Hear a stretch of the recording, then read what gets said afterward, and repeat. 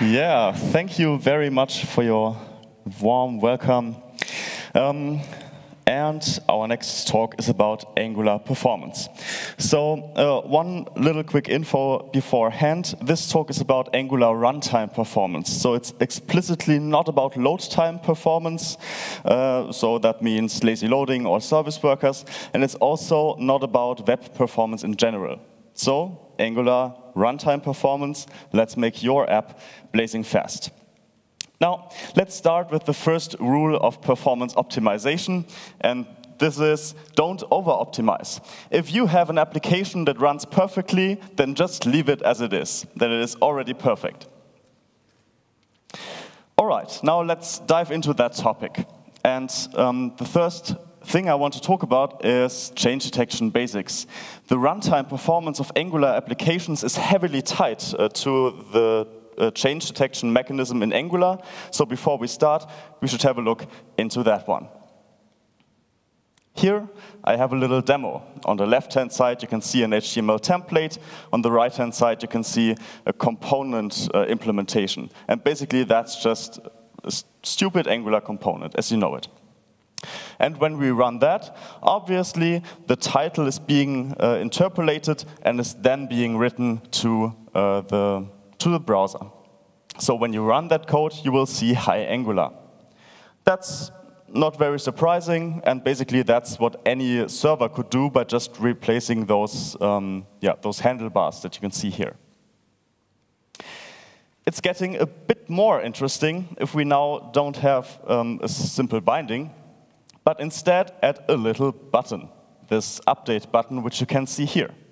In the template on the left-hand side, I've added a click handler, and this click handler will call the update function, which you can again see in the component implementation on the right-hand side.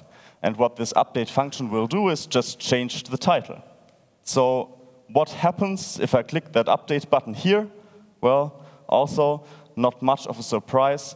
The title is being changed, and the rendering is also being changed from hi Angular to hi Foo. Again, no surprise. That's how Angular works.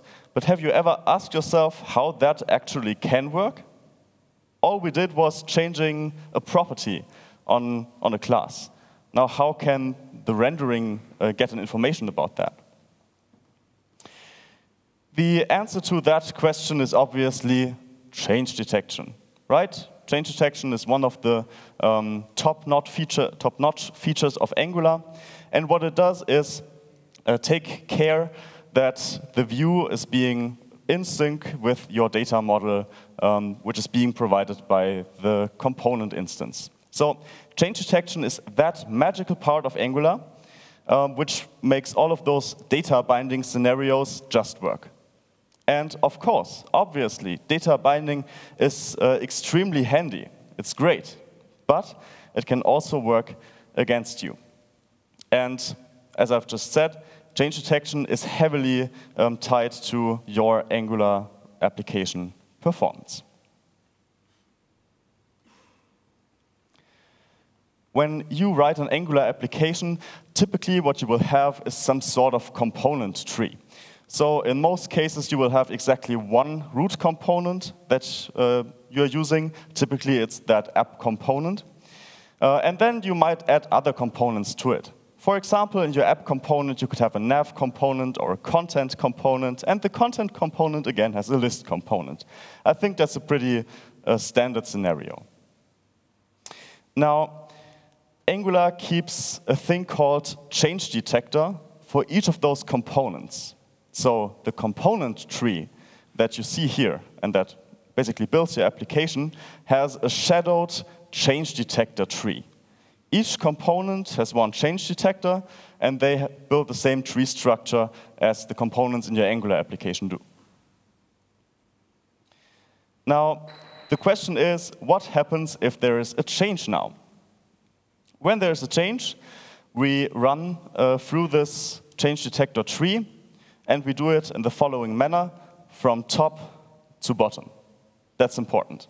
When there's a change in your application, we run the tree uh, from the very top to the very bottom, per default. And the thing that is now keeping your data bindings up to date uh, is called detect changes. Detect changes is a method on your change detector uh, of your very component. And whenever you call this method, and typically it's automatically being called for you, we will then update the bindings uh, in your template. This, by default, happens um, when you have a change in your application. And each change in your application, let it be a click, for example, leads to one single change detection cycle, again, from top to bottom, so all components are covered. And uh, this is uh, yeah, in one direction, uh, so there can't be cycles in this yeah, update direction. Now, as you can see here, each change in your application leads to such a change detection cycle and that may have effects which you don't want. And here's a little demo for that effect. On the left-hand side, you can see component one. Component one has a button which says click, uh, and the border around it is the component um, border. On the right-hand side, you can see component two. Both components have a little text output, which is being updated whenever there's a change detection happening. So for each new change detection cycle, we will see uh, more occurrences of checked. Now let's see what happens if we click the click button on the left-hand side. As you can see, not only the component on the left-hand side is being updated when you're clicking that button, but also component 2 is being checked, although they are completely unrelated. Now, here's the problem imagine in your Angular application, you have not only two bindings, like in this scenario, but maybe thousands. And maybe you have some complex bindings which do some sort of calculation. Then this can take ages, right? So you call uh, change detection more often, or you would interpolate those bindings more often than you would actually need. So, our first findings are the following we should make sure that we reduce the duration of our change detection cycle, right? So let's imagine there's um, many cycles, and now we should make sure that they can be performed as quickly as possible. And that means that you should reduce the amount of bindings that are active uh, in the rendering. That means, for example, that you may want to make use of virtual scrolling, for example. So you don't have 1,000 bindings of a huge grid, but only the 100, 200 bindings which are currently needed to display that uh, portion of the grid which is being visible. Apart from that, you should definitely avoid to bind to functions, for example, or to getters, which are computationally intensive, because as you've just seen, they are run for each change in your application. So you should make sure that the change detection cycle is um, very performant Ideally, it's um, quicker than 16 milliseconds, so quicker than a frame. Otherwise, your application will hang. How can you check how long your change detection cycle takes? There's a neat little debug tool which you can enable uh, by placing that code, which you can see on the top, in your main TS. Uh, the crucial part here is enable debug tools. And what uh, this method does is enable a command line API, which you can see on the bottom of the slide. This command line API is called ngprofiler time change detection, and this method runs a change detection cycle. Uh, and there's two modes, so to speak. It either runs your change detection cycles for 500 milliseconds, or if your change detection cycle takes really, really long, it will cancel after five. All right, so let's see that little thing in action. Just a quick note, I've tested this in a yeah, almost new Angular project, so there's not many bindings, and thus this change detection cycle will be pretty fast. All right, let's run it. Okay, and execute. And as you can see now, the debug tool was executed, and we ran 16,000 change detection cycles. And as you can also see, one change detection run took um, 0.03 milliseconds. Now, if you multiply that, you get to exactly those 500 milliseconds that we've just seen. Again, here you should make sure that this number is as small as possible. All right, so that's it about your bindings and your change detection cycle performance. Now I want to talk about reducing the amounts of calling change detection uh, in, yeah, as a whole. And this has to do with this one here, Zone.js and ngZone. The question here is, how do we detect a change, right? So what's that magical trigger that now executes um, the change detection tree? And when you check uh, the dependencies of your Angular project, you will see that library here, which is called Zone.js. Zone.js is from the Angular team, and it is a so-called meta monkey patch, and it's, um, it provides an execution context. Now, what's that? Meta monkey patch means that Zone.js attaches to anything uh, in your browser that can lead to a potential change of the application state. So for example, this can be asynchronous operations executed by set timeout or set interval, could be events, and could also be the update of the user's position or a promise is rejected, and so on and so on. That's what Meta Monkey Patch means. Zone.js knows about everything that might potentially happen in your browser. Then it's an execution context, and that is also quite nice because Zone.js now knows if there are any pending operations. Uh, for example, when you close the application, we would now know if, there still, uh, if there's still work to do. You can also do profiling with it, uh, for example, for measuring performance, and you can also use it for mocking or testing. In fact, that's exactly what the fake async method does when you call it in your Angular tests, because that, for example, just uh, reduces the set timeout um, function to, to run a set timeout of 500 milliseconds directly. And that's only possible because Zone.js is the proxy. when you boot your Angular application, there's, by default, Zone.js directly involved. Zone.js spawns already and now takes, um, well, yeah, creates the so-called global zone. And uh, so Zone.js has uh, control over all of those operations that could possibly happen in your website.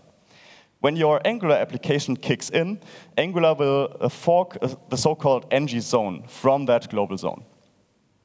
And now anything or everything that happens inside uh, the Angular application will also happen inside that fork. So not directly on the global zone, but first inside that fork uh, zone.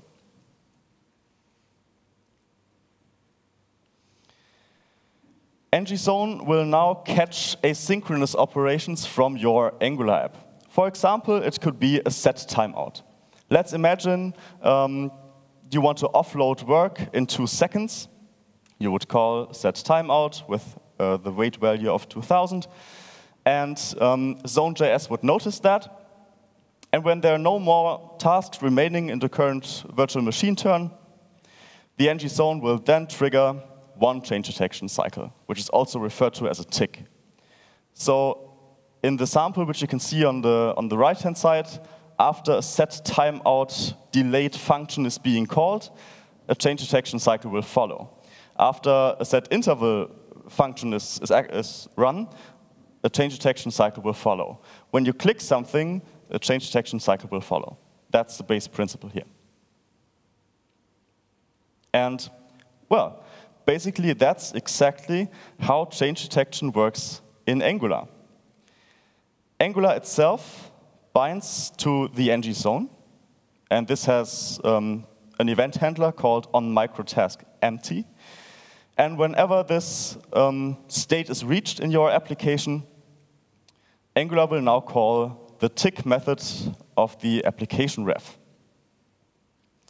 Now, internally, all components in your Angular application are referred to as views, and then Angular will quickly run across all of the different views and call detect changes on the change detector, uh, change detector of that uh, specific view.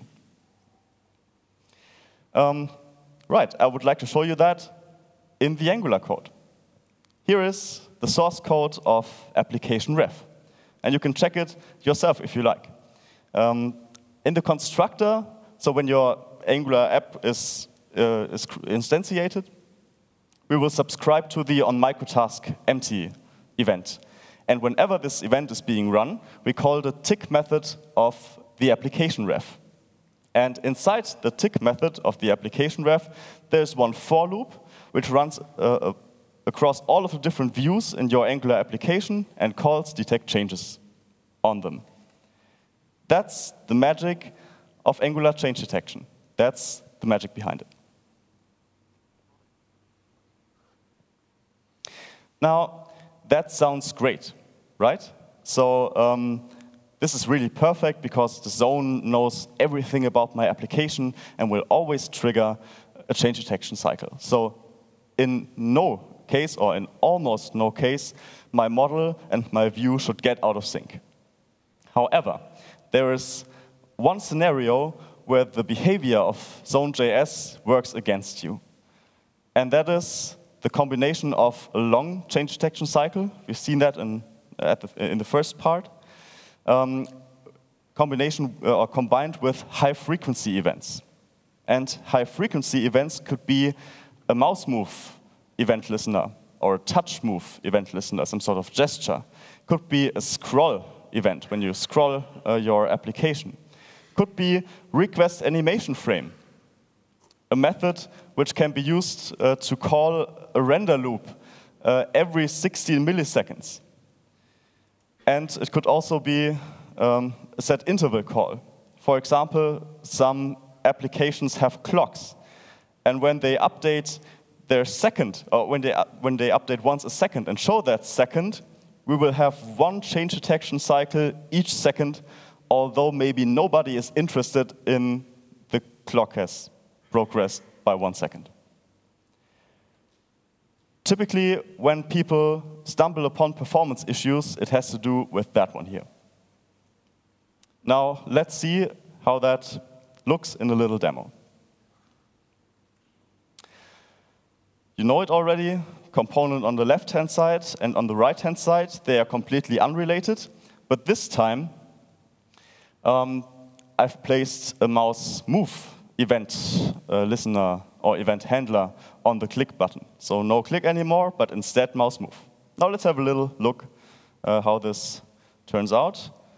Oh, as you can see, for each pixel which I run my mouse across that button, we are performing a change detection cycle. And by default, we are checking your entire application, each of the uh, thousand uh, bindings or whatever you have. That's not so great, actually. And what happens is now absolutely obvious to you, right? Because for each mouse move event that is being fired, the ng zone will react with detect changes. So that means for every pixel which I move my mouse across that button, we will run a CD cycle for it. Now the question is, can we avoid that? And it turns out we can, uh, using different methods and techniques. The first one is you can opt out of the ng zone. Ng zone is uh, an injectable which you can um, request in your components constructor, for example. And this injectable has a method called run outside Angular. And whatever you do inside that function that you pass to run outside Angular will now run outside of Angular's zone and will not trigger change detection. That is great, for example, for animations, right? Because you do not want to run change detection each 16 milliseconds. You want to do it outside of the ng zone. However, there's a problem now. If you want to update the view, or if you try to update the view as a result of whatever happens in there, it will not work because you've just opted out of that method. Your view and your model can get out of sync in that case. If you want to update the view uh, within that run outside Angular call, you can go back into the zone by calling the ng zone run method and then again passing a lambda function, uh, which, um, yeah, which contents will then run inside the Angular zone again. Now, let's imagine we take that example that we've just seen, and we will now subscribe to the mouse move event inside that run outside Angular function. What will happen now is that the mouse move events will be triggered on the global zone. And Angular is not attached here, so no change detection cycle will follow. And here's a little demo for that. Now I've registered um, the mouse move handler of the click button in uh, ng, um, yeah, ng zone, no, sorry, run outside Angular of ng zone. Let's see what happens. We mouse move uh, over that button, and exactly nothing happens, because we have effectively opted out of the Angular zone. This is great, and for example, uh, you could not only use that for uh, this mouse move scenario, but maybe also for animations. However, there are some cases where you can manipulate the way how um, request animation frame is being executed, for example. You can't wrap it in, uh, and, and run outside Angular function. So instead, there must also be a more bit generalized approach of doing this. And if you've ever checked your polyfills TS file, you will see that there are three methods of disabling the Angular zone for specific events. For example, you can disable it for request animation frame. So no more CD cycles each 16 milliseconds.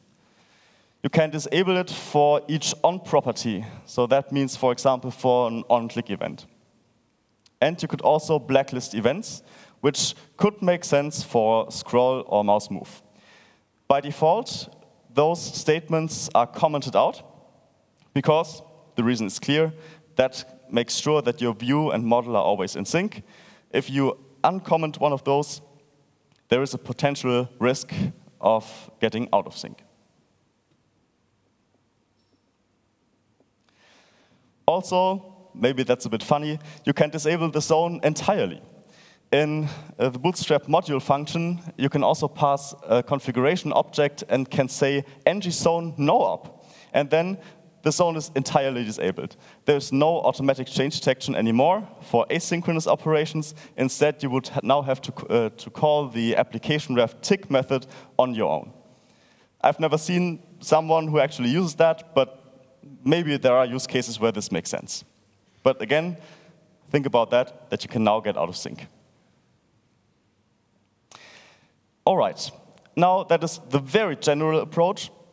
Um, now we want to think about the component level. As you've seen, component one has a change and component two isn't really interested in that change. Can we solve that problem as well? Yes, we can, using change detection strategies. The default change detection strategy for uh, each component is the so-called default strategy.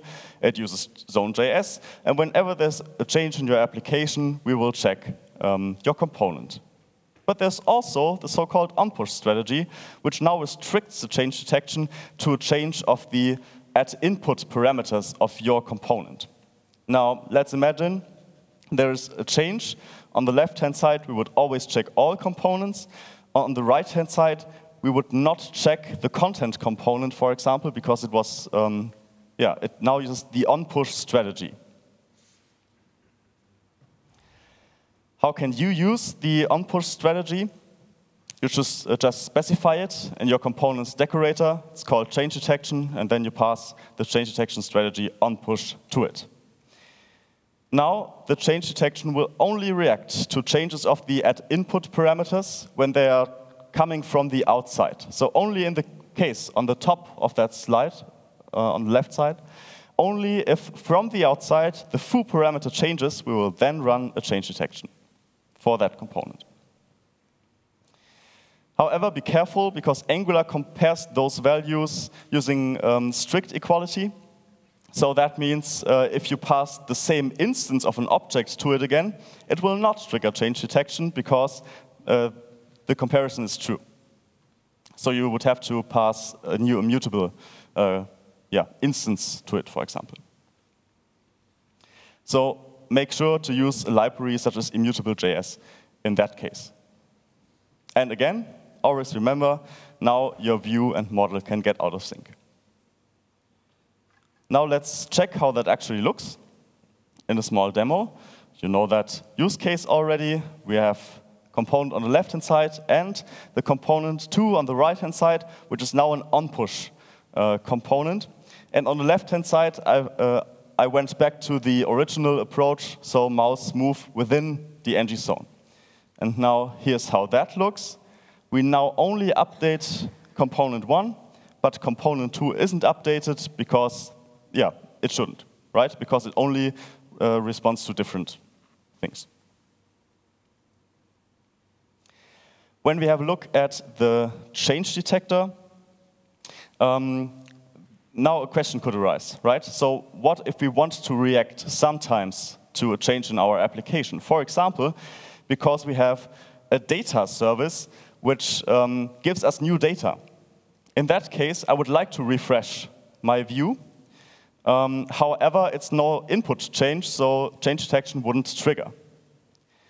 If we have a look at the change detector API, we can see that there's a method called mark for check. And when we call that method mark for check on the change detector ref, which we can uh, inject, then uh, we are running change detection again. Little sample here. We are an on-push component, and our service gave us new data. So we mark our component as dirty, and we will be a part of the next change detection cycle. Here's how that can look in your component. So you would subscribe to your data service and not only update your field, but also call mark for check on the change detector. However, that's a bit tedious because you have to think about that, that you actually have to run this mark for check method. There is also a neat little thing which helps you in that case, which is called the async pipe. I'm pretty sure you've seen that already. You can pass an observable on promise or a promise to the async pipe, and the async pipe not only waits for the observable to emit, but also um, will call change detector ref mark for check for you automatically. So, for observables, the async pipe is great because it subscribes for you. It also takes care of unsubscribing when you um, close the component, and it calls mark for check for each update. So the async pipe is a perfect match for the on-push change detection strategy. And here's again a look at the async pipe from the Angular repository. And you can see whenever the async pipe updates a value, it will automatically call mark for check for you. Really great. And now, as a result, your component, your on-push enabled component, now looks as simple as this. You only inject your data service, and now you don't place the actual value um, on a field on your component, but instead you just um, you just reference the observable there, right? And now in your component, all you do is use the async pipe in combination um, with this specific observable. And now your component will also um, change detect when there's an update sent over this observable. And so that also goes great together with this reactive approach that you've just seen in the talk before. Now, as an additional info, you can also detach from change detection. One component could, for example, say, I'm currently not visible, uh, for example, a developer tool or something. So I would uh, not like to be a part of the change detection cycle. And you can also do that by injecting the change detector again and calling change detector detach. And now, whenever there's a change, your component will not be checked. It's not a part of it. And if you decide to want to be a part of the change detection cycle again, you just call reattach, and then you are. So that's the so-called local change detection principle. And again, make sure to think about that thing. Your view and model could be uh, out of sync then. Here's how that looks in code. You just inject the change detector ref, you call detach. when you want to perform a local change detection, you just call the detect changes method on your own. And if you want to be part of change detection again, you just call the reattach method. So as a quick summary, you should reduce the amount of change detection cycles. Um, for example, by disabling Zone.js entirely, not a good idea in most cases. Uh, by opting out of the ng zone, run outside Angular. For operations that should not affect bindings, animations, for example, should disable Zone.js patches in case you can't opt out, for example, third-party libs. Um, use the change detection strategy on push, which also makes a great uh, default, but be careful because the uh, view could not update. Uh, and you could also make use of local change detection by using the change detector ref for that few components which are not visible by default. Well, basically that's it. I've also, add, uh, I've also added a cheat sheet for you which uh, summarizes the measures that I've shown you. Uh, it will be in the slides, which I post later on Twitter. Um, for now, I'd like to thank you for listening, and yeah, see you next time. Goodbye. Thank you. Thank you. Thank you. Thank you.